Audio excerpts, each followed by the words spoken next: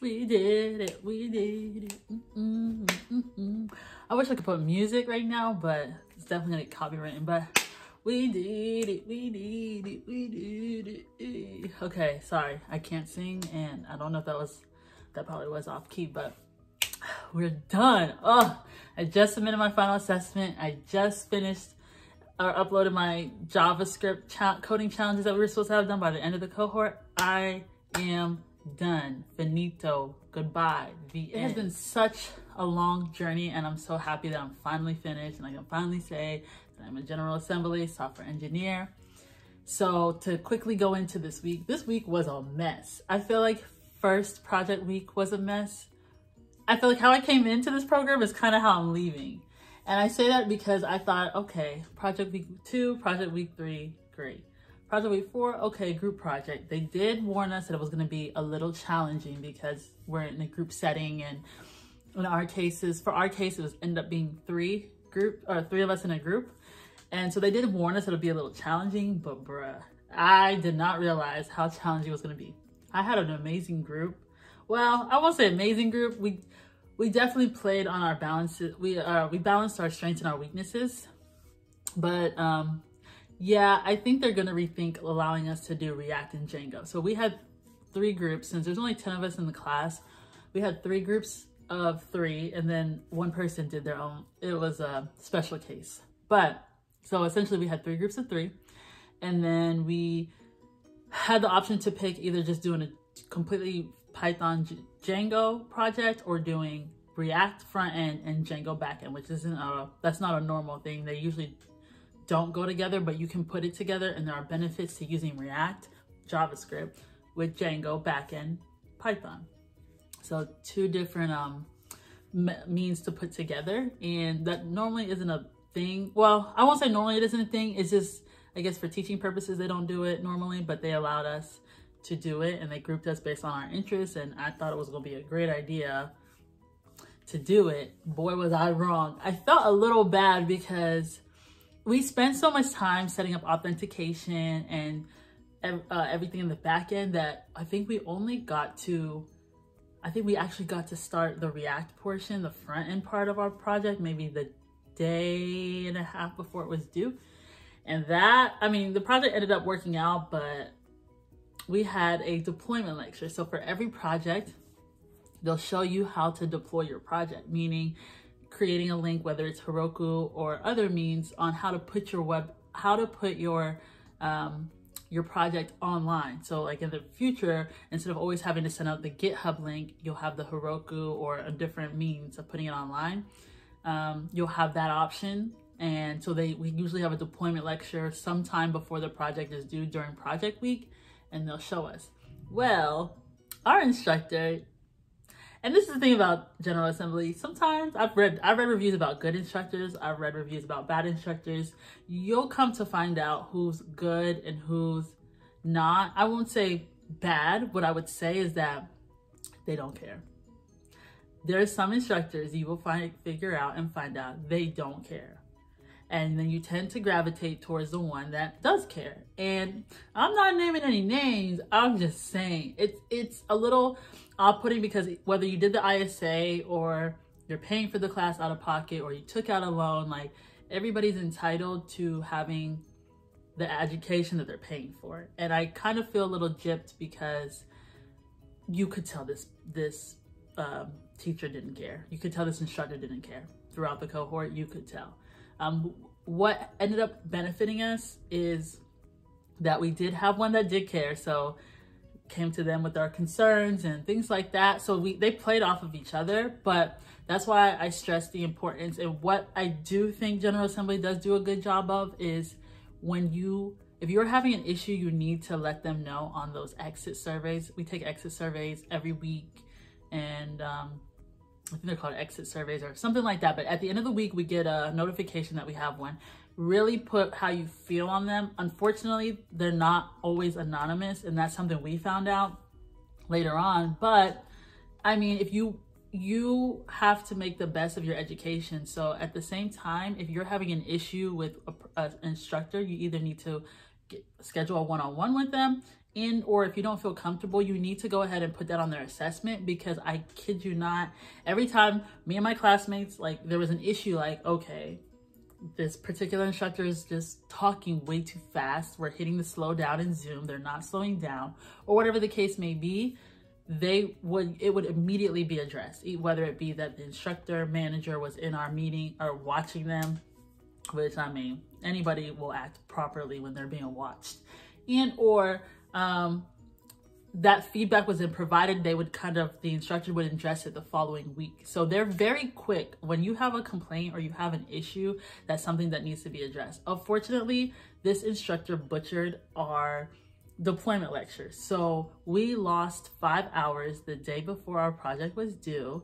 We lost five hours because they were not prepared to teach the React Django uh, groups how to deploy.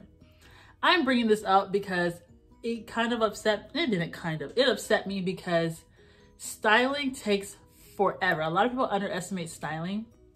I think our project ended up turning out decent, but there's so much more we could have done with that time. And unfortunately, there's gonna be times, I'm sure, throughout my career, throughout your career as uh, future software engineers, web developers, or whatever field you wanna go into where there's going to be some major obstacle. And in that case, we lost five hours. I stayed up till 5 a.m. Eastern time because of that five, five hours we lost and I still wasn't finished. So we just kind of had to submit.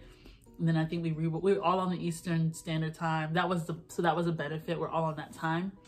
Uh, except for one, but he was only one hour behind as opposed to me working with my West Coast classmates. And um, we got up at like I think 9.30, so I only slept four hours to be done. And we didn't, we actually never got to deploy because the instructor never figured out how to help us and there were so many errors. And so our group and the other React Django group, we did not get to deploy our app. So it's just hiding on GitHub. Well, it's not hiding, but it's on GitHub. It's not deployed on the internet. So it kind of annoyed me a little bit. And that's something that's definitely going in the um, exit poll because it's, it just, it's a big disappointment because I feel like I started off terrible for week one or for project one, two, three, great. Four, I'm like, okay, it's group. It's not as much like on you. If you don't understand something, hopefully there's something in the group, which shout out to Trong. That was one of my um, group members and he really like uh, carried a lot of our weight when it came to the back end Django portion. And um, with all of that being said, I just think that it, it just, it's not how I wanted to end considering that React and Django would have been an awesome project and we made a we essentially made an application where General Assembly to students could go log in, create an account, and find a tutor close to them in their area um, to tutor them. You know, this is fake. I mean, eventually it could be real, but it's essentially with fake data. Um, it's not a real working website, functioning website. And then um, and vice versa. So a tutor, a general, a former General Assembly student can go online and create a tutor account, put a rate where they live, and then whether it's in person or um, via Zoom, you know, that's how it would work. And we wanted to incorporate a zip code API that would allow us to uh, allow the student, when the student, when they were looking for a tutor, to narrow down their search to zip codes in their area we lost five hours and that deployment lecture was in the evening. So by the time admin stuff and authentication and everything got set figured out, it was already 10 o'clock. I think my classmates that deployed, only one of us in the group had to deploy and our classmates in the group um, that I think they were there till nine and it still didn't even get done. So I enjoyed it. I mean, we were able to invite I well, I enjoyed it. I enjoyed the experience. I think the group was okay. Um, we all played off of each other's strengths. Um, the next day we got to present and we presented to our, we got to invite our class, our family members. So that was awesome, family and friends. So, which I ended up doing and some of them did show up. Shout out to y'all. Um, and so we had assessment, that was it. And then we said our goodbyes and it was, I'm not gonna lie, kind of, I mean, kind of, I teared up, I teared up. And it was just because it's just been such a long journey and I think you're so caught up in homework or labs and projects and this and that that you forget like this is big accomplishment within the like within a three month span. For some people might be six. depending on if you're doing part-time or full-time, on top of it being online. I am not an online class type person and honestly, in theory, I would have went with the in-person option, but I'm very glad I had this experience of doing online because I probably wouldn't have like really picked it beforehand. I really wouldn't have been able to see myself blossom and flourish. So that was our final week.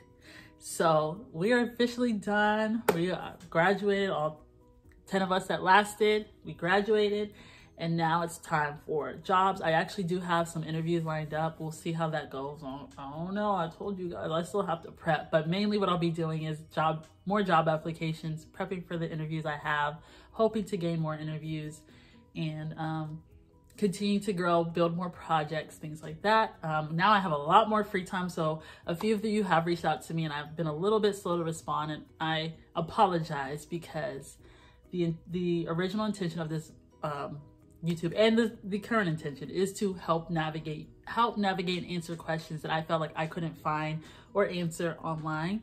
Um, so now that I have a lot more free time, um, that will, I'll be more, uh, more prompt with my responses or more, I, not more prompt, what's the word? Quicker, quicker response time because now that was my point and that is why this YouTube channel was created. It was to give you guys more advice and be honest because sometimes like I see reviews about boot camp like, yeah, it was great. Ah, this boot camp kicked my butt. This boot camp kicked most of our butts, you know, and most people won't say that, but I think it's important because again, I didn't really know what I was getting into. I'm glad I went through it. Best decision, one of the best decisions, like I said, I've ever made, but it was rough. It was very, very rough. So if there are tips and tricks I can give now that I'm on, I'm past, I'll definitely be doing that. So that's what we've been doing moving forward. I'm going to be doing um, technical interview prep, so I'll be helping with that. Um, I'll be putting out videos about like how I'm prepping, and I'm going to definitely do the typical like what I wish I knew before I started boot camp, things to focus on, you know, confidence, things like that. This is also a, this is a tech and lifestyle channel, so now that I have more free time, you will see more videos mixed in with lifestyle. I think I have one about coworkers. So then I got plenty of stories. Um, but that's what it's about. The, the main focus of this YouTube and why it was created was for the tech purposes. And I'm glad that I'm able to finally be a resource now that I've made it to the other side. And um, I don't know how applicable this information will be a few months from now because from what I've been hearing, a lot of these schools are starting to roll back in their um, in-person options, but uh, the concepts and the fundamentals are obviously still going to be the same. So that's all from me. Like I said, you guys, please continue to reach out to me. I love talking to you, reaching out, messaging, communicating. Um, I just, as many people as we can help. If you can, like, share, subscribe. If anybody's interested in going to a coding boot camp, you'll be surprised how many people have done it that are around you. I found a few once I was interested in it. Um, but share the videos with them so they have an idea of what they might be getting into. And like I said, I'm always open for questions. Um, my Instagram, Twitter, um, I'm supposed to say Facebook. No, don't don't contact me on Facebook. uh, but my Instagram, my Twitter, and my email are in the description box below. I've linked my, um, I'll also link my other class-based channel. She may have a different perspective as well. So that's pretty much it for me. But what you can expect is a few more videos regarding um, coding bootcamp, um, just like project week. I've been promising you guys that video. So, and other videos mixed in there. So this journey has officially begun because this is not the end. This is just the beginning of my official um, software engineering journey. And now that I'm done with the boot camp. So I can't wait to take you guys along on the journey. I hope you enjoy. Do not forget who you are. And I will see you guys hopefully next week with some updates. Have a great one.